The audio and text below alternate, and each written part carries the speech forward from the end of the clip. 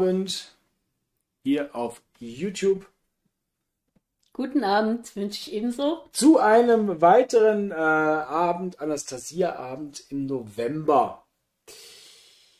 Wir haben schon lange keinen mehr gemacht, Ja, habe ich richtig. mir gedacht. Also wir haben schon Richtig. lange nicht mehr über unsere liebe Freundin Anastasia gesprochen oder über die Bücher. Und ich habe mich auch heute schwer getan, muss ich gestehen, ähm, als ich, ähm, wie soll ich das sagen, ähm, als ich mir gedacht habe, über, welches Thema suche ich mir denn jetzt raus? Also äh, wo orientiere ich mich dran? Da ich gedacht, eigentlich kannst du genauso gut alle Bücher da hinlegen und sagen, pass auf, jetzt wäre, äh, ich greife mal hier hin. Manchmal mache ich das so. Genau, und eigentlich trifft man ja dann auch relativ zuver äh, zuverlässig äh, äh, ein Thema, das einen gerade was angeht. Dann habe ich aber gedacht, vielleicht interessiert das euch gar nicht, was mich gerade als Themen was angeht. Also vielleicht funktioniert das so gar nicht. Und habe mir doch noch mal ein paar Sachen rausgesucht. Ja. Ähm, Aber mir war es heute noch wilder. ah, Ja, ähm, ja, ich hatte mich, äh, äh, wir hatten den, hatten ausgesagt, wir treffen uns, machen den, machen die Aufnahme. ja. Und ich, äh, ich habe vorher was anderes gemacht und war so äh, vertieft in das, was ich gemacht habe, dass ich nicht auf die Uhr geschaut habe. Guck drauf und ähm, sehe, es ist kurz vorher. Ich laufe zu dir rüber, sage, ich bin überhaupt nicht vorbereitet. Hast du irgendwas? Und dann sagst du auch, dann verschieben wir das noch so um 20 Minuten. Haben dann aber ganz kurz über ein Thema gesprochen, was womit du dich gerade beschäftigst, ja? Du meinst meine schöne Eiche? Die Eiche, ja, genau. Die Eiche. Ich habe die, Die scharf auf- Eiche. Ja. Und ähm, ich weiß nicht was, ich hatte die Eiche im Kopf und greife in das Regal, nimm das, nimmt Anastasia ähm, Band 5 raus, ja, und find, schlage was auf, wo es genau um diese Götterenergien, nein, ich mache vorher noch was anderes. Ich gehe ganz kurz, weil jetzt mit der Eiche ging mir durch den Kopf, ich Ja. gehe ganz kurz an den Computer, such, ähm, gebe ein paar Stichworte ein und komme auf eine Seite, wo ganz viel darüber steht, wie unsere Vorfahren mit der Eiche umgegangen sind, was die bedeutet hatte und so. Da dachte ich, oh, das schickst du schon mal dem Simon. Und dann gehe ich ans Regal und hol das raus. Und unter, die, unter, unter anderem stand in dem, ähm, in dem Beitrag, den, den ich da am Computer rausgesucht habe, dass die, dass die Eiche auf die ähm, Gesetze oder Regeln der Götter äh, zugreift. Ja? Und, ähm, und dann nehme ich das raus und komme hier an die Stelle mit der Göttin Aphrodite. Ja? Das heißt, dass wir, wir mit den Göttern ja zusammenarbeiten können als Ja, Mensch. ja, und, absolut. Und äh, ja, da habe ich, da habe ich dann noch im gleichen Buch noch zwei andere Stellen gefunden, die, die irgendwie im weitesten Sinne damit zusammenhingen. Ist das nicht verrückt? Mhm. Innerhalb von zehn Minuten hatte ich die Stellen, über die ich mit dir reden will hier heute Abend. Ich weiß nicht, was du rausgesucht hast. Das werde ich dir nachher schon zeigen. Ja. Sag mir doch mal eine Stelle, über die du mit mir reden möchtest heute Abend. Dann nutzen wir doch. Fang doch an. Ja, fange ich an und, da, und zwar Du warst ja quasi schon da mitten dabei. ja genau. Und dann lese ich ganz kurz was vor. Ja. Ähm,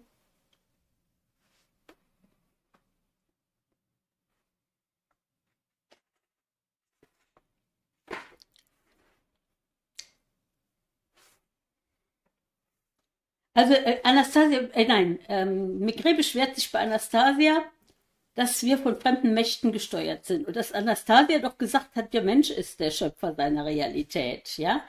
Ähm, ich lese das jetzt nicht alles vor. Er, er beschwert sich mit ihr darüber und sie sagt, na ja, es ist aber doch anders. Und ähm, ähm, sagt, er sagt dann, ich habe dir geglaubt, dass alle Menschen Kinder Gottes sind und dass er uns liebt. Und du hast gesagt, der Mensch ist die Krone der Schöpfung. Hast du das nicht gesagt? Ja, Wladimir, das habe ich. Na bitte. Und wie überzeugend das alles geklungen hat. Nicht nur gl- geglaubt habe ich dir, ich fing sogar an, die Gründung solcher Siedlungen in die Wege zu leiten. Und. So geht das Gespräch eine ganze Zeit weiter. Er ist ziemlich aufgebracht, ja. Und äh, dann sagt sie, wie er so darauf kommt, ja. Wie es, äh, er sagt, kluge Köpfe sind, äh, da äh, ist es gelungen, ähm, ihn davon zu überzeugen, dass wir Schachfiguren sind innerhalb äh, des Systems, ja. Und wie ist es diesen klugen Köpfen gelungen, dich davon zu überzeugen, dass der Mensch eine Marionette in den Händen irgendwelcher Mächte ist? fragt Anastasia. Ich habe mir einen Vortrag angehört. Einen Vortrag über mich selbst. Eine Gruppe schlauer Leute hat sich gefragt, wie ein paar Bücher für so viel Furore, Furore in der Gesellschaft sorgen konnten. Für dich haben sie sich auch interessiert und eben auch für mich. Während meines Aufenthalts in Zypern, als ich den vierten Band schrieb, wurde ich von ihnen beschattet, von diesen Mächten. Mhm. Sie haben alle Details aufgeschrieben und dann analysiert. Ah, nee, die, die, die, die, die nicht die, die Mächte. In dem Falle äh, meint er diese klugen Menschen. So. Sie haben alle Details aufgeschrieben, dann analysiert. Und stell dir vor, ich bin Ihnen nicht einmal böse wegen Ihrer Bespitzelung. Im Gegenteil. Ähm, ich bin Ihnen sogar dankbar dafür, dass Sie mir endlich die Augen geöffnet haben. Es gibt keinen Zufall. Was so aussieht, ist in Wirklichkeit von langer Hand arrangiert worden. Davon habe ich mich anhand eines Experiments überzeugen können. Eines Experiments? Seit wann führst du denn Experimente durch, Wladimir? Das Experiment habe ich nicht vorgenommen, viel mehr wurde es an mir vorgenommen. Als ich auf Zypern war, machte ich eine bloße Bemerkung über russischen Fisch und plötzlich war der Fisch da. Ich sprach über Zedern und schon erschienen sie vor mir. Eines Nachts wollte ich eine Kirche besuchen und auf einmal war die Kirche da. Nicht nur das, nicht nur das, die Tür stand auf mysteriöse Weise offen und ich, ich erhielt dort genau die Eingebung, die ich zum Schreiben brauchte. Das Merkwürdigste war aber das Erscheinen der Enkelin der Göttin Aphrodite. Ich habe gegenüber ich hatte gegenüber ein paar Leuten in Zypern erwähnt, dass ich gern die Enkelin der Aphrodite treffen wollte weil ich ihre ewige Prahlerei mit der Grotte dieser Göttin satt hatte. An jeder Straßenecke hängen diese Plakate. Kurz und gut, jedenfalls habe ich verkündet, dass ich mich mit Aphrodites Enkelin treffen werde. Und bitteschön, eines Tages später erschien ein junges Mädchen mit leuchtenden Augen. Nun, was soll ich sagen? Jeder dachte, Aphrodite habe tatsächlich ihre Enkelin geschickt. Durch das Mädchen wurden wahre Wunder gewirkt und sie selbst wandelte sich ebenfalls. Wer aber ist verantwortlich für, äh, für all das? Wer hat im Hintergrund die Fäden gezogen? Ich jedenfalls nicht. Würde es sich um einen einzigen Zufall handeln, meinetwegen, aber es war eine ganze Verkettung von Umständen. Da kann von Zufall keine Rede sein. Das ist, Schlussfol das ist die Schlussfolgerung der Wissenschaftler. Und ich bin überzeugt, damit haben sie recht. Auch du dürftest das nicht bestreiten wollen. Ich will das gar nicht bestreiten, dahinter eine, dass dahinter eine Gesetzmäßigkeit liegt, Wladimir, entgegnete Anastasia. Eine Mischung aus innerer Kälte und Apathie beschlich mich nach diesen Worten Anastasias. Äh, irgendwie hatte ich doch gehofft, sie würde meine inzwischen gereifte Überzeugung von der Winzigkeit des Menschen und so weiter bestätigen. Ja. Und ähm, naja, er geht dann davon aus, es könnten Außerirdische sein und so weiter. Wieder ertönte Anastasia, äh, Anastasias leis, ruhige Stimme, aber sie rief in mir keinerlei Emotionen hervor, sie klang wie aus weiter Ferne. Wladimir, die Leute haben dir die Audiokassette Kassette mit dem Vor die, die die Audio Audiokassette mit dem Vortrag geschickt haben, sind zu dem richtigen Schluss gekommen. Es gibt tatsächlich Kräfte, die in der Lage sind, in den Lauf der Dinge bestimmte Ereignisse oder wie in deinem Fall ganze Ketten von Ereignissen einzuflechten, die zur Realisierung eines geplanten Ziels notwendig sind. Reinen Zufall gibt es nicht, das haben schon viele erkannt. Es mag unglaublich klingen, aber was für uns wie ein Zufall aussieht, ist sogar in den meisten Fällen das Ergebnis einer bewussten Programmierung. Solche Programmierungen geschehen, geschehen ständig und, und sie betreffen jeden einzelnen Menschen, auch das, was dir in Zypern widerfahren ist ist natürlich keine Ausnahme. Sag mal, Wladimir, möchtest du nicht wissen, wo sich jener Pro Programmierer befindet, der, dem du all diese Zufälle zu verdanken hast? Was spielt das schon für eine Rolle, wo er sich befindet? Ist mir egal. Auf dem Mars, auf dem Mond, auch wie es ihm geht, ist mir Schnuppe. Er befindet sich in diesem Zimmer, Wladimir. Mich wundert gar nichts mehr. Und böse bin ich dir deshalb auch nicht. Das Tragische daran ist nur, dass alle Menschen hoffnungslos vers versklavt werden. Ich bin aber nicht der Hauptprogrammierer deiner Zufälle, Wladimir. Ich kann nur teilweise darauf einwirken. Ja, wer ist denn dann der Hauptprogrammierer? Wir sind doch nur zu zweit hier. Oder gibt es dir etwa noch einen dritten, einen unsichtbaren? Wladimir, dieser Programmierer wohnt in dir. Es sind deine Wünsche. Wie bitte? Allein die Wünsche und Bestrebungen des Menschen können den Lauf der Dinge programmieren, entweder in diese oder in jene Richtung. Das ist das Gesetz des Schöpfers. Nicht und niemand kann diese Gesetze außer Kraft ersetzen, auch nicht irgendwelche kosmischen Mächte, denn es ist der Mensch, der über alle kosmischen Energien waltet. Als ich auf Zypern war, habe ich wirklich nichts programmiert, Anastasia. Alles ist rein zufällig passiert, ohne mein Zutun. Einige unbedeutende Details, die nach außen hin vielleicht wichtig erschienen, sind in der Tat ohne dein Zutun geschehen.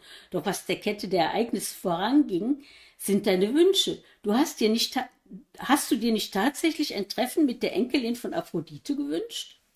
Du hattest diesen Wunsch sogar in der Gegenwart von Zeugen mehrfach geäußert. Zugegeben. Wie kann man Diener, die den Wunsch des Gebieters erfüllen, als Herrn bezeichnen und den Herrn selbst als Spielzeug? Das wäre wohl recht dumm. Tja, interessant. Unsere Wünsche. Wieso aber gehen dann nicht alle Wünsche in Erfüllung? Viele wünschen sich doch vergeblich was. Dabei hängt vieles von der Art des Wunsches ab, von seinem Zweck, ob er zum Lichten oder zum Dunklen strebt, und auch von der Stärke des Wunsches. Je lichter und intensiver die Ausrichtung des Wunsches, desto mehr lichte Kräfte werden sich zu einer Erfüllung vereinen. Und wenn die Ausrichtung dunkel ist, sagen wir, jemand will saufen, sich prügeln oder einen Krieg anzetteln, dann werden die dunklen Kräfte zu Werk gehen. Das wesentliche Element ist jedoch immer der Wunsch des Menschen. Es sind, so sind es also auch deine Wünsche, Wladimir, die die Realität schaffen. Ähm, er geht dann weiter. Ja, ich äh, äh, lese jetzt etwas, lasse etwas aus. Mhm. Weißt du, Anastasia, in Zypern damals, ehrlich gesagt, war ich dort drauf und dran zu trinken und auf den Strich zu gehen, weil mir da zuallererst alles nicht gefallen hat. Niemand sprach Russisch, dann der, äh, der Lärm vom ständigen Feiern. Ich kann gar nicht richtig, kam gar nicht richtig zum Arbeiten. Wieso frage ich mich, hat mich das Schicksal bloß hierher verschlagen? Vielleicht damit ich ein paar nette Prostituierte lernen kann, kennenlernen kann? Denn, denn viele der leichten Mädchen dort sind aus Russland oder Bulgarien. Siehst du, Wladimir, du wolltest sie, und deshalb sind sie auch gekommen. Du hast Wodka getrunken und hast dich mit ihnen verabredet. Nur hattest du dir ähm, bereits zuvor gewünscht, der Enkelin der Aphrodite zu begeben, begegnen. Und weil Wun jener Wunsch stärker war, ist sie zu dir gekommen und hat dir geholfen. Sie hat dich von dem verderblichen Laster bewahrt. Ja, Sie hat mir geholfen. Aber wer hat dir eigentlich von der, ach, von der Bulgarin erzählt? Meine Gefühle, Wladimir. Okay. Ähm, sag mir lieber etwas über dieses Mädchen, sagt dann äh, äh, Wladimir. Jelena Fadejewa, sie ist doch gar keine Enkelin von Aphrodite oder eine gewöhnliche Russin, die für ein Touristikunternehmen auf Zypern arbeitet. Ich hatte aber von der Enkelin einer äh, der Aphrodite gesprochen. Bedeutet das nicht, dass die lichten Kräfte mit der Aufgabe überfordert waren, eine echte Enkelin der Göttin herbeizuschaffen? Nein, denn sie haben sie ja tatsächlich herbeigeschafft. Die Göttin Aphrodite existiert heutzutage als höherdimensionales Energiewesen. Ja? Sie ist jederzeit in der Lage, mit der Energie eines Menschen in Berührung zu treten, falls dafür im kosmischen Sinne eine Notwendigkeit besteht. Auch das ist wichtig. Ja? Ähm, wenn Jelena Fadijeva mit dir zusammen war, war sie von zweierlei Energien beseelt. Vieles geschah damals unter dem Einfluss höherer Kräfte. So gelang es ihr, dir auf, wunderbar, gelang es ihr, dir auf wunderbare Weise beizustehen. Ja, ich bin wirklich sehr dankbar für ihre Hilfe und auch der Göttin Aphrodite. Auf einmal waren all meine negativen Empfindungen verflogen, die ich aufgrund meines Eindrucks gehegt hatte, der Mensch sei eine Marionette ominöser Mächte. Das Gespräch mit Anastasia hatte meinen Vermutungen den Boden entzogen. Ähm, ja, ich lasse noch mal wieder was aus.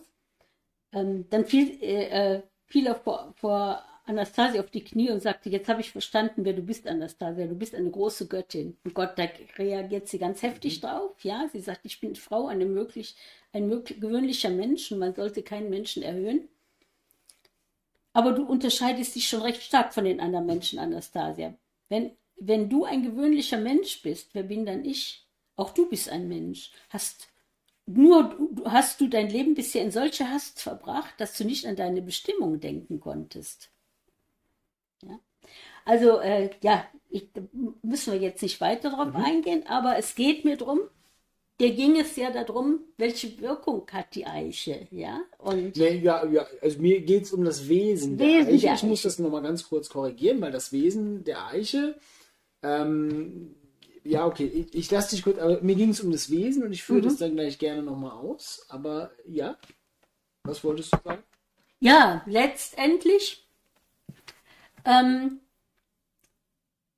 äh, können wir all diese, diese die, äh, ähm, es ging, nee, es ging darum, weil ich hatte ja gefunden in diesem, was ich da äh, ganz kurz äh, im Internet gesucht habe, das waren ja wirklich nur Minuten, ja, ähm, dass ähm, die, die Eiche ähm, auf die Gesetze der, der Götter oder die hermetischen Gesetze im Grunde achtet, ja, oder dass sie dafür steht, dass die eingehalten werden, ja. Genau. Und deswegen hat man ähm, ja alle Sachen, wo es um, um, um äh, äh, Recht geht oder, oder ja auch Tings und solche Dinge, alles immer unter einer Eiche äh, ab, äh, äh, abgehalten. Oder unter einer Linde. Nee, die Linde war, bei Linde geht es um Kommunikation. Also der, Gerichtsbaum war klassisch eine Eiche oder tatsächlich eine Linde. Ja, die Linde, Eine Linde hat aber eine andere von Aufgabe. Eichen wahrscheinlich. Ja, Aber ja, ja, ja, also- aber die Linde hat eigentlich, da geht es mehr um ist ein Geselligkeit. anderes Wesen, genau. Das also, Wesen also es erklärt sich mir auch definitiv so. Äh, äh, deswegen würde ich der Linde widersprechen, weil die Linde ist mehr ein Distanzwesen, ist ein geselliges Wesen. Genau, es geht um. Geselligkeit. Und bei der Eiche geht es einfach ist Gemeinsamkeit. ein, anderes, ist ein anderes Thema. Es könnte aber auch einfach sein, dass zwei Tings an unterschiedlichen Orten stattfinden, Ja, je nachdem, vielleicht- welches Thema. Ja, das sozusagen. kann auch sein. Und dementsprechend kam, glaube ich, aus der Ting-Geschichte Ja. das Gericht. und- Also Ja. das, aber es sind, glaube ich, zwei unterschiedliche Dinge. Und ich denke, es ist die Eiche. Genau. Und es geht eigentlich darum, dass du, wenn du ähm, dich mit der Wesenheit der Eiche verbindest, verbindest du dich gleichzeitig mit den Gesetzen der Götter. Mhm. Ja?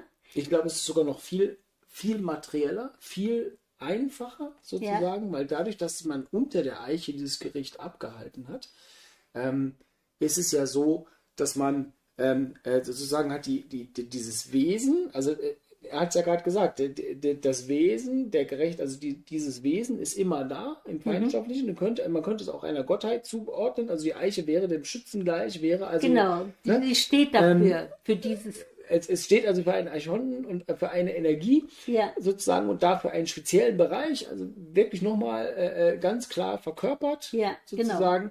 Und dadurch, dass die da verkörpert oder manifestiert ist, wo diese Eiche ist, ist dieses Wesen dort verkörpert und das heißt, es bildet sich sozusagen diese Aura um diesen Ort. Das heißt, das ist der Ort, äh, für einen gewissen Zweck, nämlich um die Gerechtigkeit der Götter quasi, um die hermetischen Ja, Gesetze ja. zu empfangen. Witzigerweise, und da fängt die Sache ja an, lustig zu werden mit der Spagyrik. Das ist jetzt oft, oft Thema Anastasia, aber wenn wenn ich gerade schon die Steilvorlage kriege. Ja. Also, äh, das Witzige an der Geschichte war nämlich, dass du ähm, im Endeffekt hat man ja das Gleiche gemacht, wie, äh, wie man jetzt im digitalen Raum macht. Also du hast das Gericht wurde entfernt. Also es wurde der, der, der Ort wurde gewechselt, er wurde in ein Gerichtsgebäude äh, verlagert. Genau, man ist nicht mehr sozusagen, man ist mehr nicht die mehr, Energie der man ist nicht mehr unter der Energie der Eiche, Ja. unter der, man ist jetzt unter anderen Gesetzen. Ja, genau. Ne? Man hat unter den Gesetzliche, Gesetzen, die die der- Häuser bauen. der- äh, Unter denen ist man jetzt. Ja, das heißt, genau. es wurde bewusst der Ort gewechselt. Und jetzt kommt der Clou der Spagyrik. Die Spagyrik ist nämlich dadurch dazu in der Lage, dass wir jetzt die Eiche quasi in uns mitnehmen in den Gerichtssaal und Ja. damit wieder anderen Ja, Gesetzen also unterstehen. da, da äh, be- beruft sich Simon Wir- wir- auf, wir- eine, genau, auf, auf ein eine- Gespräch, was ich mit ihm mal hatte, ähm, als, als es äh, äh, ähm, ja, um, um Gesetze ging, einfach aus einer, war eine Unterhaltung von uns, so ein Gespräch von uns. Und ähm, da habe ich gesagt, dass Alf damals äh, einen Bekannten hatte, der ähm, Zu. Was? Nein, nein. Er, er- er hatte einen Bekannten, Ja. der zu Gericht musste, ja.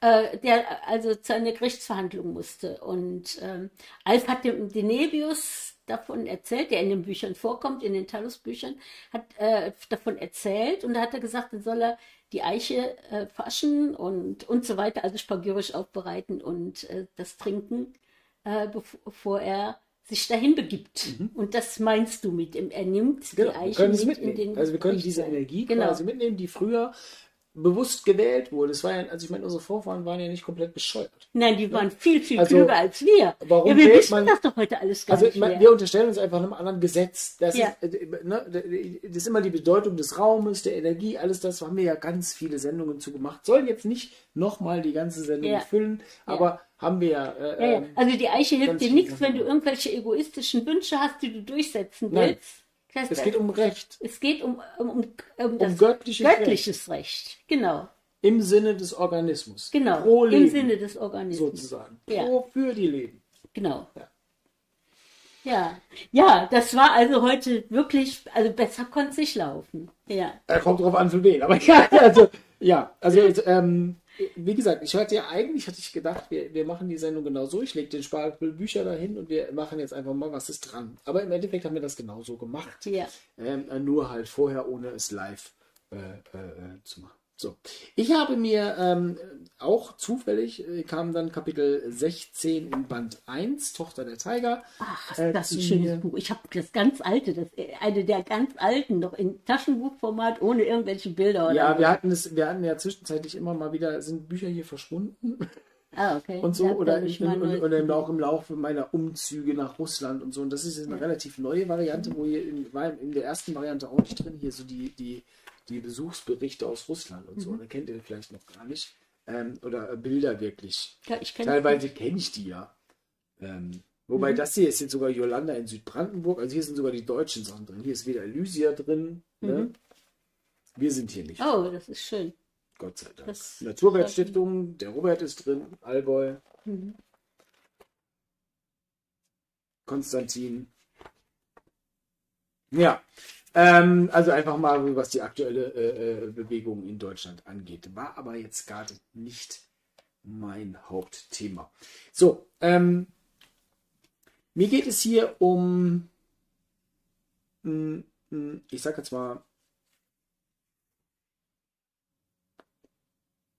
Aufmerksamkeit. Ne? Das Kapitel heißt Aufmerksamkeit gegenüber Mitmenschen. Mhm. Äh, Ich fragte Anastasia, wer sie sprechen gelehrt hat. Also bei, da fallen alleine äh, in diesem ersten Satz, da kommen schon wieder so viele Themen drin vor, weil man wirklich genau darauf achten muss, wie Anastasia groß geworden ist. Das weiß man ja so gar nicht ganz genau. Mhm. Äh, sie hat keine Eltern Mhm.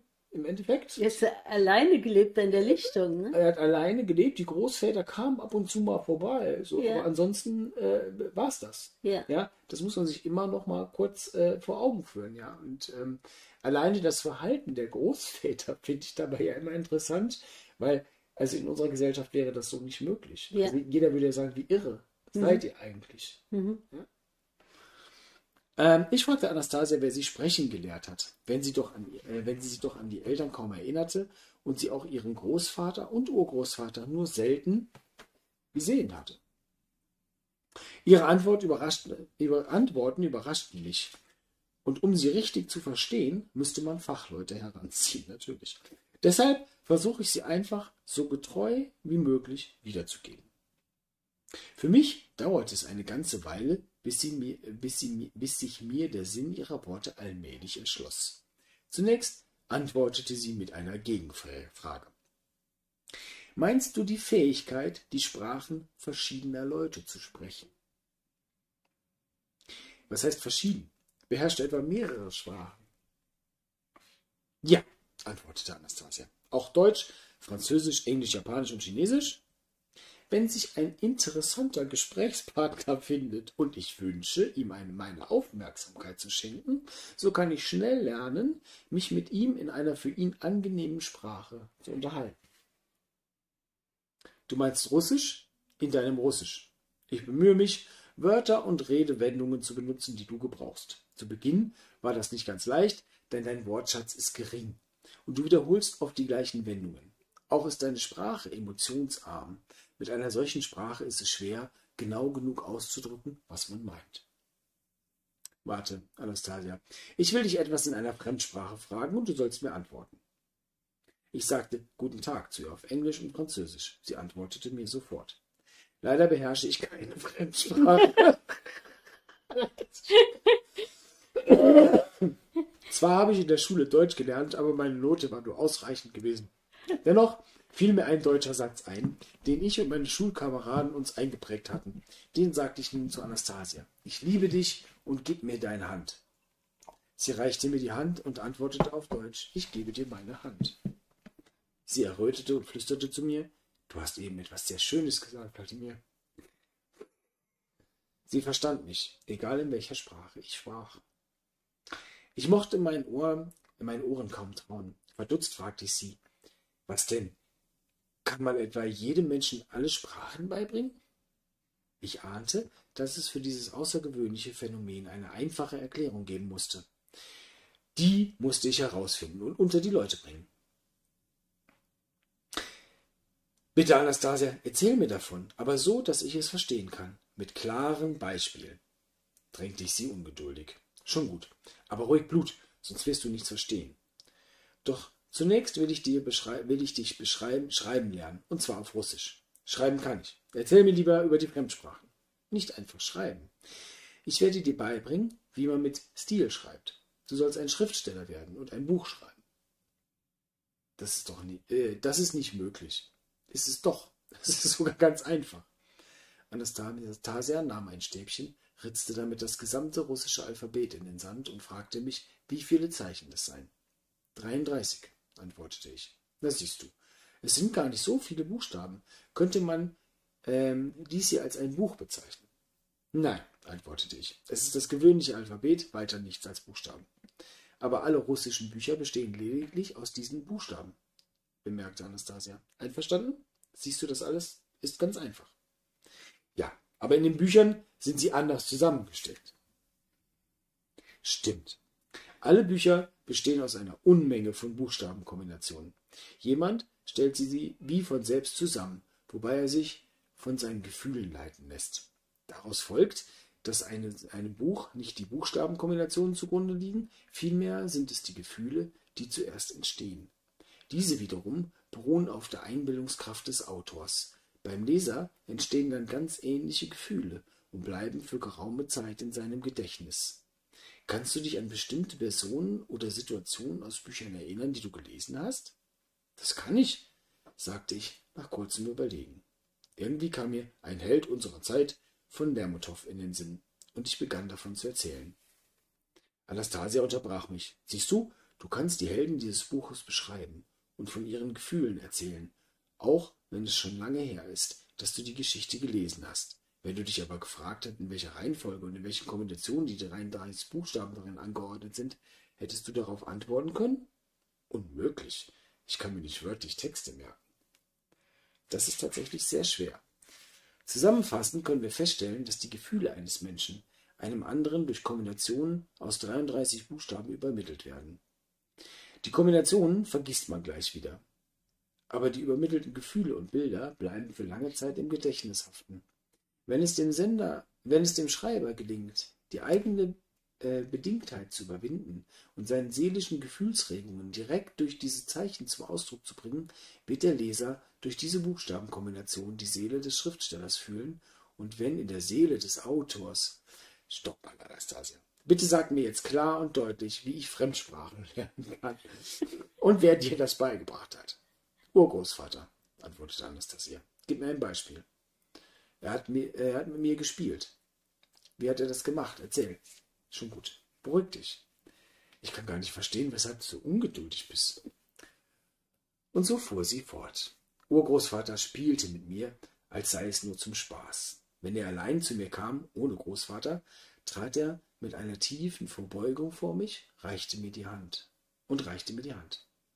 Wenn ich ihm dann meine Hand gab, drückte er sie, kniete auf einem Bein nieder, gab mir einen Kuss und sagte Guten Tag, Anastasia. Eines Tages kam er und machte alles wie immer. Er sah mich zärtlich an, wie gewöhnlich, aber seine Lippen murmelten irgendwas Unverständliches. Ich sah ihn nur erstaunt an, dann sprach er schon wieder irgendwelche sinnlosen Wortfetzen. Das konnte ich nicht ertragen, und so fragte ich ihn, Opi, hast du vergessen, wie man spricht? Ja, antwortete der Urgroßvater. Dann ging er ein paar Schritte weg von mir, dachte eine Weile nach und kam zurück. Er gab mir die Hand, und ich reichte ihm die meine. Dann kniete er nieder und küsste mir die Hand. Sein Blick war zärtlich, seine Lippen bewegten sich, aber kein Ton war zu hören. Ich erschrak. Dann aber fasste ich mich und sagte ihm vor. Guten Tag, Anastasia. Richtig, bestätigte Urgroßvater lachend. Nun begriff ich, dass es ein Spiel war. Und wir spielten öfters. Zuerst war das sehr einfach. Doch allmählich gestaltete sich das Spiel immer komplizierter, dafür aber auch umso interessanter. Ich bemühte mich sehr, das Gesicht meines Urgroßvaters zu beobachten und merkte mir, welche Wörter den Ausdrücken seiner Augen und dem Bewegen seiner Stirnfalten und Lippen sowie anderen kaum merklichen Gesten entsprachen. Dieses Spiel beginnt im Allgemeinen im Alter von drei Jahren und endet, wenn man elf ist. Dann findet eine Art Prüfung statt, die darin besteht, dass man seinen Gesprächspartner wortlos verstehen kann, indem man ihn einfach aufmerksam beobachtet, egal in welcher Sprache er gewöhnlich spricht. Ein solcher Dialog ist schneller und auch vollkommener als normale Unterhaltungen. Er nennt das Telepathie und haltet es für ein außerordentliches, fantastisches Phänomen. Aber dieser Vorgang beruht einfach auf Aufmerksamkeit gegenüber den Mitmenschen, entwickelte ein Einbildungskraft und gutem Gedächtnis. Dahinter verbirgt sich nicht nur eine vollkommene Art des Informationsaustausches, sondern auch die Erkenntnis der menschlichen Seele, der Pflanzen- und Tierwelt sowie des Universums im Allgemeinen. Das mag ja sein, aber eigentlich hatte ich gedacht, du könntest jede beliebige Sprache sprechen. Du kannst aber einfach bloß die Gedanken deines Gesprächspartners erspüren. Kannst auch bloß. und auch nicht sogleich, sondern erst, nachdem du dich eine Weile mit ihm unterhalten hast. Ja, so ist es, Wladimir. Aber später kann ich mich dann auch an alle Wörter erinnern, die den Gedanken entsprechen, egal in welcher Sprache sie gesprochen werden. Und durch dieses Spiel ist es auch möglich, die Wünsche der Tiere und Vögel verstehen zu lernen. Mhm. Hast du jemals so eine Fremdsprache gelernt? Nee. ich äh, ähm, bin auch nicht der große Fremdsprachenlerner. Ich habe schon, ich habe viele Jahre Englisch äh, in der Schule gehabt. Ich kann es gar nicht mehr. Aber, und darauf will ich ja hinaus, ich weiß ja, dass du relativ wenige äh, Sprachen sprichst noch. Ja. Ähm, äh, aber du kannst es dich immer äh, verständigen im Ausland, du konntest immer ausdrücken, was du möchtest. Tatsächlich du konntest lief immer, das relativ es gut. immer anders. Ne? Ja. Und das ist für mich immer das Ja. Beispiel dafür. Ja, da gibt es ja, dieses Beispiel habe ich dir ja schon mal erzählt, du als Kind, ja, wo, wo wir in Urlaub waren. Ich, ich habe das schon mal erzählt, aber das finde ich so, fand ich so großartig. Ich habe da nur äh, verblüfft daneben gesessen, zugeschaut. Ey, wie läuft das, ja? Da, du, du, wir waren, äh, waren in Österreich in, in so einem äh, Biohotel und äh, da war dann eine Familie aus, aus äh, Italien und die hatten einen gleichaltrigen Jungen. Und ihr beide habt den ganzen Tag zusammen gespielt. Du in Deutsch redet, er in, in, in Italienisch, aber scheinbar habt ihr euch verstanden. Ja, fast immer. Es war nur, kam nur selten vor, dass, der, dass, dass du irgendwas von ihm oder er von dir nicht verstanden hat.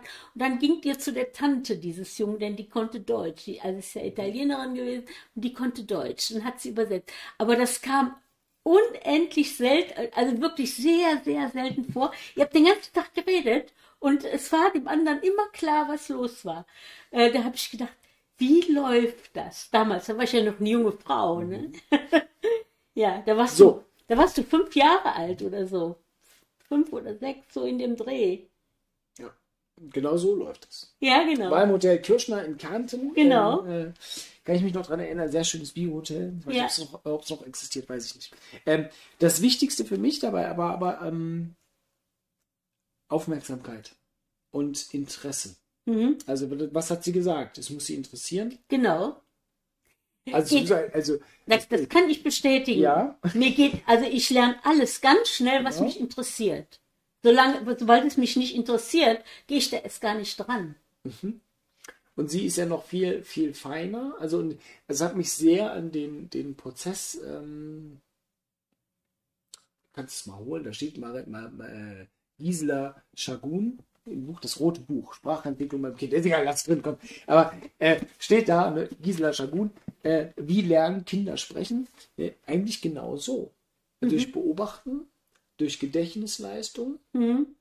durch was möchte. Es ist erstmal grundsätzlich Ja, ja. freundlich, es ist grundsätzlich erstmal nicht freundlich. Ne? Also die lernen nur über das Wahrnehmen des Ja. anderen Menschen. Ist mir jetzt bei deiner Mhm. Tochter mehrfach aufgefallen. Die versteht unglaublich viel. Ist ja gerade erst mal, weiß nicht, neun Monate, ne? Nicht alles. Die versteht all, ja. Ja. Ich bin da immer wieder erstaunt. Ähm, wenn, wenn ich, wenn ich sage, ich nehme dann, ich passe dann gleich auf die Kinder auf und nehme die Ida und dann streckt die mir schon die Arme entgegen, ja. Also, ja, Genau.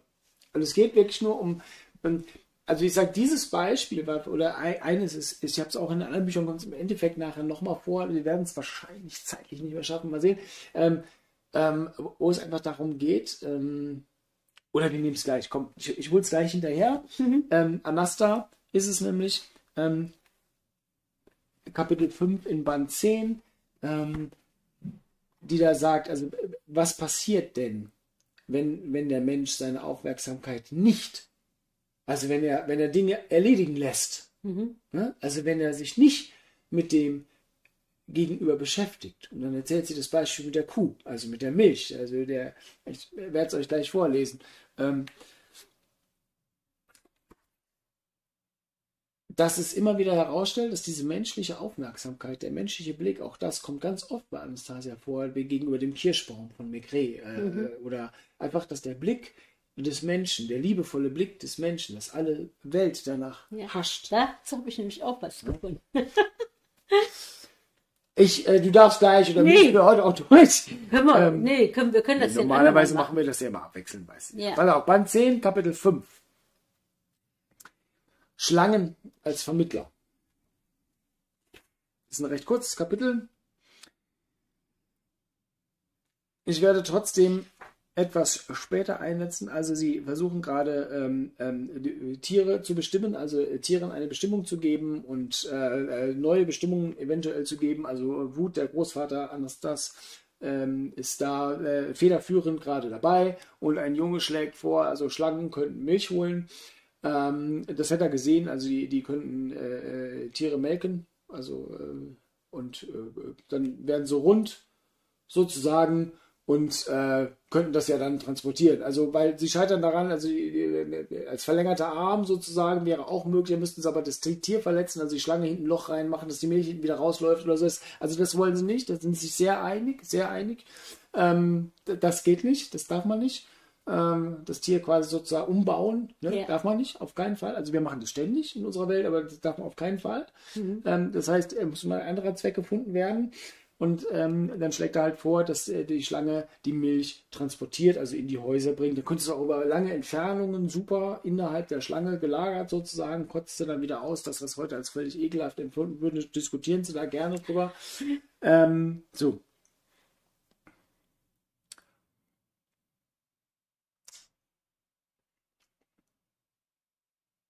So, und jetzt äh, protestiert Anasta. Ne? Anasta hob die Hand wobei die Handfläche ihm zugewandt war. Diese Geste bedeutete, dass das Mädchen nicht mit etwas einverstanden war und beabsichtigte, den Anwesenden seinen Protest darzulegen. Sprich deinen Protest aus, gestattete ihr Wut. Ich bin dagegen, dass Kriechtiere Milch zu den Häusern bringen. Ein Kind nach dem anderen begann, Anasta zu widersprechen. Warum denn? Wir sollten auf Bequemlichkeit nicht verzichten. Im Moment tun sie nichts für den Menschen, aber das wäre eine Beschäftigung für sie. Die Menschen werden mehr Zeit haben, sich mit etwas Angenehmerem zu beschäftigen als mit dem Melken von Kühen. Das Mädchen hörte sich die Einwände ruhig an und fuhr dann fort. Wenn Kriechtiere dem Menschen die Milch der Kuh bringen, dann wird sich der Mensch in eine Kuh verwandeln. Was sagst du da, Kleines? Erklär das bitte, entgegnete einer der beim Unterricht anwesenden Erwachsenen. Und Anasta führte aus. Ein Mensch, der von einer Kuh, einer Ziege, einem Kamel oder einem anderen Tier Milch bekommt, schenkt dem Tier im Austausch seine Aufmerksamkeit und seine Gefühle. Wenn er sich die Milch der Kuh nicht selbst holt, wird sie seine Aufmerksamkeit nicht spüren und solche Milch wird nicht gut sein. Der Mensch wird seine Dankbarkeit dem kriechenden Geschöpfe schenken, wenn er die Milch durch die Schlange bekommt. Die Schlange steht dann zwischen der Kuh und dem Menschen. Sie wird zum Vermittler zwischen allen Geschöpfen und dem Menschen. Sie wird den Menschen mit ihrer Dienstleistung in Versuchung führen und ihm alle jene wohltuenden Gefühle aussaugen, die für andere irdische Geschöpfe bestimmt sind. Es gab ein nachdenklich, nachdenkliches, längeres Schweigen. Von einem, vor seinem geistigen Auge sah Wut plötzlich deutliche Bilder. Ein weit verzweigter Apfelbaum, voll behangen mit Früchten. Davor stehen ein Mann und eine Frau. Die Frau sagt, Schau, Liebling, ein Apfel ist schon reif, er ist wunderschön. Ergreife den Zweig, zieh ihn herab und pflücke den reifen Apfel. Der Mann versuchte den Zweig zu ergreifen, konnte ihn aber nicht erreichen. Er wollte springen, um den Zweig mit dem reifen Apfel zu erhaschen, aber da erschien auf dem Zweig eine Schlange. Sie riss den Apfel ab, hielt im Schwanz den, den Zweig fest, lehnte sich herab und streckte die Frucht, Frucht dienstwillig dem Menschen entgegen. Danke, du Kriechtier, sagte der Mann und streichelte die Schlange. Mann und Frau entfernten sich vom Baum, ohne ihm zu danken. Die segenspendende Energie ihrer Gefühle schenken sie stattdessen der Schlange. Der Apfelbaum zuckte zusammen und die Hälfte der noch unreifen Früchte fiel zu Boden. Gut unterbrach die Stille. Dein Protest verdient ebenfalls Interesse und wird teilweise angenommen.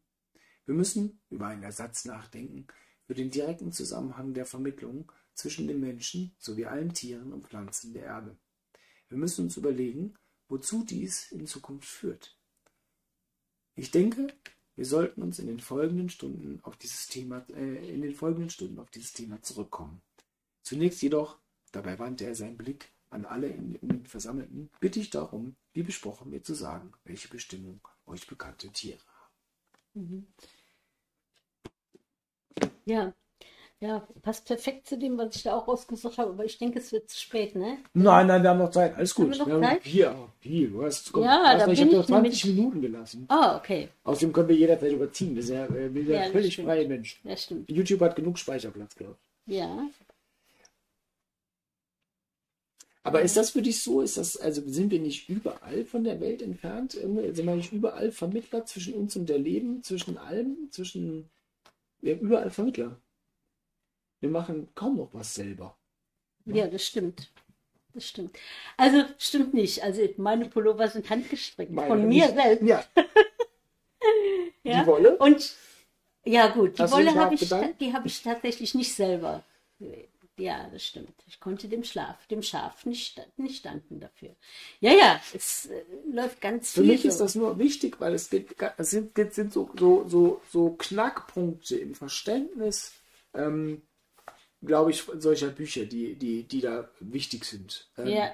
Und wenn man halt sagt, ja, das, was die Anastasia da schreibt, das stimmt ja alles gar nicht, ja, ähm, das können wir ja so nicht beobachten. Ne? Wir können gar nicht so lernen, wir, können, wir, wir halten uns aber auch nicht dran, wir, wir leben gar nicht so. Wir, wir Ja. tun die Dinge nicht. Ja. Wir tun die entscheidenden Dinge nicht. Und wir haben unsere Umwelt schon seit tausenden Jahren umgebaut, sodass sie das für uns auch nicht mehr tut. Warum uns denn, darüber spricht sie ja nicht. Ja, ja. Ja? Und das ist halt das Problem. Wir können sie eigentlich nur glauben, weil wir das gar nicht mehr testen können. Es ist nicht möglich. Diese Welt existiert nicht und wir tun es nicht. Und die Bäume haben uns schon lange vergessen. Wir haben das ja im Seminar immer wieder als Thema. Immer, wir müssen uns der Natur erstmal wieder mal, ähm, die, die muss uns das erstmal wieder glauben, Ja, ja, genau. dass wir willig sind. Genau. Ja, das äh, ist eine, ähm, ja, da machen sich die wenigsten Menschen Gedanken drüber überhaupt. Ne? Also wir, wir sind davon, wir, wir sind ja eine Dienstleistungsgesellschaft geworden, richtig, ja. Und äh, ähm, ja, und es kriegen in den seltensten Fällen diejenigen, die irgendwas gemacht haben, die Energie desjenigen, der das nimmt oder bekommt. Genau, sie kriegen Geld. Wir kriegen Geld stattdessen. Ja, Sehr materielle Energieform, das andere sind Gefühle, das andere ist, Genau. eine, ist eine andere Form. ja, ja. Genau. Also schlechte, schlechtere Energie sozusagen. Ja. Eine rein, rein materielle Energieform. ja. Und der Rest geht an Mammon oder so, weiß ich nicht. Irgendjemand saugt's. Mhm. Die Emotion. ja. Dazu habe ich hier nämlich was ähm, weiterhin in Buch 5, Ja, Der unvergängliche Garten. sehr gerne. Ja. Ähm, also sie haben, äh, er ist dann mit so einer Gruppe von ähm, Menschen, die die Anastasia-Bücher gelegen, äh, gelesen haben, zusammen, der Maigret, und sie machen dort ein Picknick. Und, ähm, und sie äh, sprechen dann äh, ähm, mit M- Maigret darüber, dass es dort zwei Gutshöfe gibt in der Nähe, etwa sieben Kilometer, und ähm, wo also wirklich das äh, ja, sie, sie, sie, sie wundern sich ja darüber, wie die noch aussehen. Die sind seit 200, J- vor 200 Jahren angelegt worden und sind äh, schon lange nicht mehr belebt. Ja? Und trotzdem ähm, ähm, gibt, sind diese Bäume sogar in strengen Winter, sind die, diese, dieses Obst in strengen Wintern, wo alle anderen äh, unter dem starken Frost gelitten haben, ist denen nichts passiert, ja. Und äh, nichts hat in diesen Gärten einen Schaden genommen. Kein einziger Baum ist erfroren. Mhm. Wie ist das möglich, fragte ich. Handelt es sich um eine Sorte, die besonders frostbeständig ist? Nein, ganz gewöhnliche Sorten sind das. Aber wissen Sie, diese beiden Gutshöfe waren ganz ähnlich angelegt, wie es Anastasia empfiehlt. Auch haben sie eine Fläche von je einem Hektar. Vor 200 Jahren haben die Leute die Gärten dort mit Zedern und Eichen umzäunt. Das Gras ist besonders saftig und ergibt ein einmaliges Heu, das sich viel länger hält als unser eigenes. Wenn Sie wollen, können wir den Ort besichtigen. Es führt zwar keine richtige Straße dorthin, aber es gibt einen Feldweg und mit einem Jeep ist das kein Problem. Ich traute meinen Ohren kaum. Aus irgendeinem Grunde war ich mal wieder zur richtigen Zeit am richtigen Ort. Ein Geschenk des Himmels. Ähm, ja, ich, in der Ferne sahen wir eine grüne Fläche von etwa einem Hektar. Ich habe wieder einiges ausgelassen. Mit dichtem hohem Baumbewuchs. Sie erschien wie eine natürlich gewachsene Waldinsel in einem Meer von Wiesen und Feldern. Als wir näher herankamen, erblickte ich in das Dickicht von 200-jährigen Eichen und Sträuchern, eine Art Eingang in die Waldoase. Wir traten ein, und innen streckten mir alte, knorrige Apfelbäume ihre Zweige entgegen. Die Äste waren schwer beladen mit Früchten. Die Bäume wuchsen mitten im Gras, obwohl hier niemand gesprüht oder die Erde umgegraben hatte, waren die Früchte reif und wurmfrei. Einige Bäume waren so alt, dass ihre Äste unter der Last der Äpfel abgebrochen waren. Es war also ihr letztes Jahr, in dem sie Früchte trugen. Sie würden, sicher würden sie bald sterben, aber aus der Erde, der neben den Apfel, äh, neben den alten Apfelbäumen schossen bereits Triebe neuer Bäume hervor. Wahrscheinlich dachte ich mir, werden sie nicht eher sterben, bis die jungen Triebe aus ihren eigenen Samen, äh, bis sie die jungen Triebe aus ihren eigenen Samen heranwachsen sehen. Während ich so durch den Garten schlendere, von den Früchten koste und die alten Eichen bewundere, die ringsherum wuchsen, war mir, als hörte ich die Gedanken der Menschen, die diese Oase geschaffen hatten. Ich, hier um den Garten müssen Eichen gepflanzt werden. Sie werden den Garten vor Frost schützen oder in dürren Jahren vor der Hitze. Hoch in den Wipfeln der Bäume werden Vögel nisten und das Treiben der Raupen einschränken. Hier am Ufer des Sees soll eine Allee aus Eichen angelegt werden. Später werden die Baumkronen ein schattenspendendes Dach bilden. Plötzlich durchfuhr mich ein noch unklarer Gedanke, der mir das Blut in die Adern trieb. Was nur wollte dieser Gedanke von mir? Da kam es mir. Natürlich, Anastasia. Ja, wie sehr hattest du recht mit deiner Aussage? Der Mensch kann Gott in seinem Wesen erkennen, indem er sie wahrnimmt und weit, weit in seinen Werken erkennen, indem er sie wahrnimmt und weiter gestaltet. Wir brauchen keine Grimassen zu schneiden, in die Luft zu hüpfen oder äh, sonstige neoesoterische Rituale auszuüben, um seine Wünsche, unsere göttliche Bestimmung zu verstehen. Nein, wir können uns direkt an ihn wenden. Da stand ich nun unter den Eichen am Ufer des handgegrabenen Teiches und las die Gedanken eines Menschen, eines Russen, der 200 Jahre zuvor durch seine lebendige Schaffenskraft einen wahren Paradiesgarten angelegt und wahrscheinlich mehr als andere, andere als andere den Plan Gottes erkannt hatte. Dies war sein Garten, sein Familienlandsitz. Ich danke dir, du unbekannter Russe. Inzwischen bist du gestorben. Was geblieben ist, sind all die Früchte, an denen sich die Kinder der umliegenden Dörfer im Herbst gütlich tun. Einige Früchte werden sicher auch gesammelt und verkauft. Wahrscheinlich wolltest du, dass hier deine Enkel und Urenkel leben. Natürlich wolltest du das, denn du hast ja nicht irgendeine vergängliche Hütte gebaut, sondern etwas Zeitloses und Unvergängliches geschaffen. Doch wo sind sie jetzt, deine Enkel und äh, Urenkel? Das Anwesen liegt verlassen da. Und so weiter. Ja, und dann geht er noch auf einen anderen, die Äpfel, äh, lese ich auch noch ganz kurz vor, die Äpfel des zweiten Gutshofes waren noch köstlicher als die des ersten. Der Garten war von stattlichen sibirischen Zedern umsäumt. Die Leute aus der Nachbarschaft erzählten mir, dass es früher mehr Zedern gewesen waren. Jetzt waren nur noch 23 übrig. Nach der Revolution wurden die Arbeitsstunden mit Zedernüssen bezahlt. Auch heute noch werden die Nüsse gesammelt, nur werden jetzt die Bäume dabei oft mit schweren Balken geschlagen, damit die Zapfen abfallen. Vor 200 Jahren von menschlicher Hand gepflanzt, standen die 23 Zedern in Reihe und Glied wie eine Schar Soldaten und schützten den schönen Garten vor Frost, Wind und Schädlingen. Übrigens waren es, ursprünglich waren es viel mehr gewesen, aber dann fiel einer nach dem anderen um. Ältere Zedern sind recht anfällig gegen Wind, denn im Verhältnis zu ihrer Höhe sind ihre Wurzeln nicht besonders ausgreifend. Ähm, ja, also äh, es ging mir eigentlich darum zu zeigen, ähm, dass nach 200 Jahren noch die Energie der Anleger dieser Grundstücke dort war und man die spüren konnte. Weißt du, wie viele Eichen da standen? Also jetzt mal rein, wenn, wir, wenn du dabei bist, das ist ja dann der Baum heute schlechthin, weil meine Gerichtsessenz ist natürlich Eiche, was soll es sonst sein?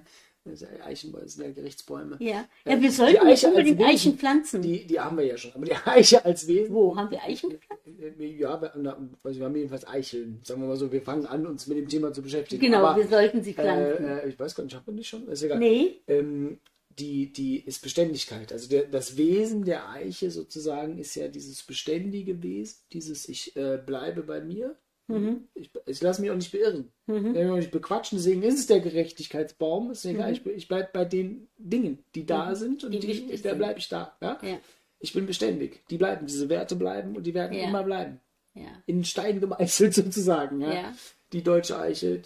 Ja, also das ist, ähm, auch wieder interessant, warum es die deutsche Eiche ist, weiß ich auch nicht so ganz genau. Ne? Also warum ist der. Das hat mit dem äh, deutschen äh, Wesen was zu tun. Die Beständigkeit hinten dran. Ne? Genau. Also das Beständige. Also äh, ähm, guck dir doch unsere, äh, guck dir doch die, die, die, die, Deutschen an. Man kann mit denen noch schon ziemlich viel erstmal machen, bevor die anfangen zu murren.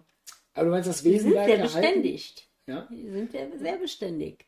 Also, kann sein, dass die Eiche dazu führt, dass wir als Wesen erhalten bleiben, dass die Deutschen auch als Wesen erhalten bleiben, auch trotz aller Gender-Quatsch, äh, äh, die da passieren können, wir als Wesen erhalten bleiben können, weil wir die, die Eichen hier haben, die wir noch nicht komplett ausgerottet haben. Ich bin ja letztens hier nochmal durch den Wald gegangen und habe mir echt nochmal, oder habe mich nochmal zurück erinnert an die Pfalz wo ich mich schon immer erstaunt sah, welche Durchmesser von Bäumen da. Wir haben ja hier noch Grundstück. Ja, Durchmesser von 1,50. Naja, weil hier, so, hier, hier in der Umgebung ja fast nur noch Fichten stehen. Gut, aber hier ist ja auch, wir sind noch viel, viel höher in der Pfalz. Das Ding, die waren noch mal viel größere Bäume. Ja, ja. Wir sind hier ein Stückchen höher und äh, etwas weniger Wuchs und so. Aber hier stehen massive, gewaltige Bäume standen. Und ich glaube, wenn ich das so alles gelesen habe und ähm, mit dem Wissen, was ich heute habe über ja, auch durch das Beschäftigen mit der Spagyrik, glaube ich, oder mit Wesen von Pflanzen und so, mhm. dann verstehst du mal, wie man Landstriche umgebaut hat, wie man Ortschaften umgebaut hat, wie man einfach das Wesen entfernt hat von, also von, von Bereichen. Es ist wirklich ganz tiefgreifend. Ich kann es yeah. wirklich nur jedem empfehlen, sich mal mit dem Wesen von Pflanzen und allem zu beschäftigen. Mhm. Ne, ihr könnt natürlich auch die, die, könnt jetzt die, die Eiche benutzen, um das bei euch irgendwie als Spagyrik reinzubringen, aber auch das, dieses Beständige, verstehe ich, dass das bei Familienlandsitzen sein soll, verstehe ich komplett. Die Eiche verstehe ich da sehr gut. Ja. Yeah. Ne, das ist, deswegen ist das 200 Jahre später. Wir brauchen hier auch noch die eine oder andere Zeder.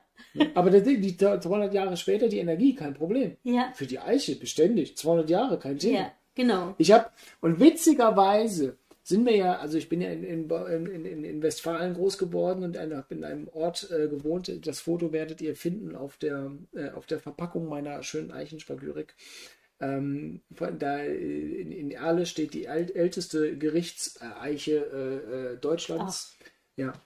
Äh, 800 Jahre alt, äh, dieser Baum ist die älteste. Die Fehmeiche in Erle ist äh, bekannteste, älteste Baum in Erle habe ich gewohnt.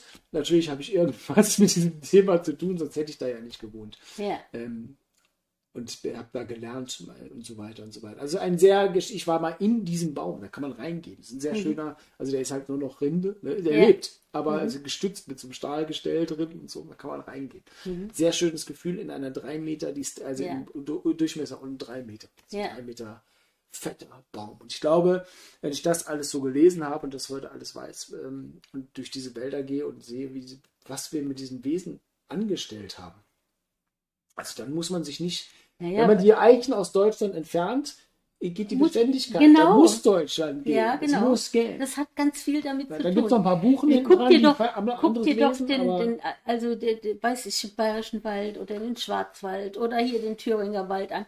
Alles Fichten, Fichten, Fichten, Fichten, ja. Äh, da müssen wir uns nicht wundern. Nee. Ja, und Fichten sind, genau wie, wie die von den Zedern schreibt, die haben Wurzeln, die sind sehr hoch, die kippen auch schnell um und die sind sehr anfällig. Allem gehören sie überhaupt nicht hierher. Zedern würden hierher gehören, aber Fichten nicht. Mhm. Ja. ja. Und unsere Vorfahren wussten einfach mehr davon, deswegen haben sie um die Linde getanzt, Aber um weil die Linde ein ganz anderes Wesen darstellt. Genau. Und sich damit zu beschäftigen. Die wussten um ein Vielfaches mehr. Empfehle ich jedem. Ich habe das vorhin gelesen und ähm, ich werde es jetzt zeitlich nicht mehr bringen, weil es das, wer, wer würde dem Thema nicht gerecht werden. Mein nächstes Thema wäre die vedische Russ gewesen, der Krieg in der vedischen Russ. Und im Endeffekt ähm, würde ich das jetzt anders beschreiben oder kam mir jetzt gerade auch nochmal der Gedanke, auch da kann die Eiche wundervoll helfen, die Beständigkeit in sich. Ähm, weil die Geschichte, die sie da beschreibt, ist ja eigentlich die, dass Menschen vorbeikamen und erzählt haben, es wäre anders. Priester, Mhm. du musst es anders machen. Mhm. Und ich glaube, wären die Menschen etwas eichiger gewesen, Ja, hätten sie sagen können, ach nee, du, ja. die Tradition passt schon. Aber man war sehr Schön. neugierig und sehr freundlich und so. Und ich glaube, heute sollten wir uns doch nochmal darauf besinnen. Was sind äh, Traditionen? Wir haben was, wir haben was früher gemacht. Warum denn? Weil, weil diese ganzen, eigentlich ist der Krieg der vedischen Russ, ist die Geschichte, dass man Traditionen gebrochen hat, dass man ähm, einfach Ja. seine Mutter nicht mehr erkannt hat. Mhm. Ja. Und äh, da zurückzukommen, in diese Beständigkeit, zu wissen, was man selber will und dem auch Ausdruck zu verleihen, was man möchte und das zu kreieren. Ne? Das ist halt immer das Schlimme. An diesen hierarchischen Strukturen ist ja ganz einfach. Die wissen, was sie wollen, weil der Ober, die wissen, was der Oberste will. Fertig. Und das, also das andere müssen sie nicht wissen. Und die, die Gegenbewegung sozusagen ist sich ja immer komplett uneinig, weil äh, will ja jeder was anderes. Ist ja auch richtig so. Mhm. Ja, und dem dann Ausdruck zu verleihen und dem vor Ort den Raum zu schaffen, den man möchte, das ist ja die Kunst dabei und dem anderen nicht in die Quere zu kommen, sondern sich seinen Bereich zu schaffen, in dem man leben und existieren mit seinem Wesen kann. Und dazu muss sich man sich immer jeder einen, einen Raum gestalten, der ist ja komplett anders für jeden. Ja. Und ähm, da hilft es, glaube ich, auch nochmal, sich da äh, ein Standing zu verschaffen. Auch dazu äh, pflanzt euch Eichen.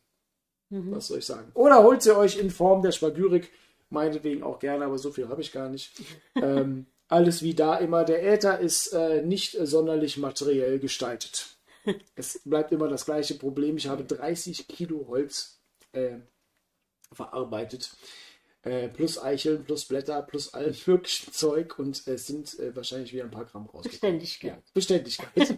Beständigkeit und äh, das kosmische Recht. Das göttliche kosmische Recht. In diesem Sinne, lasst uns das göttliche kosmische Recht wieder anwenden, lasst uns holen. Ich glaube wirklich, dass wir das Recht mit Füßen treten. Ich glaube, dass wir die Leben mit Füßen treten und ich glaube, dass wir uns nicht mehr so viel bequatschen lassen sollten von Menschen, sondern eigentlich das tun, was wir wollen, äh, was jeder ausdrucken möchte, was eurem Wesen entspricht. Ich kann euch nicht sagen, was ihr machen sollt, aber ihr könnt einfach eurem Wesen Ausdruck verleihen. Das wäre, glaube ich, sehr, sehr wichtig und dann wäre dieser Welt schon sehr, sehr viel geholfen. Ja. In diesem Sinne, bis nächste Woche irgendwann mal zu irgendeiner Sendung. Ja. Tschüss! Tschüss.